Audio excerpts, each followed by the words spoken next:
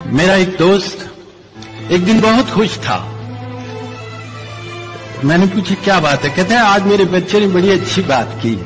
मैंने कहा, उसने क्या कहा? कहने लगा, जब उसने सुना कि क्यामत का दिन इतना हौलनाक होगा तो उसने कहा कि मैं उस रोज अपनी माँ के पाँव के नीचे चला जाऊँगा।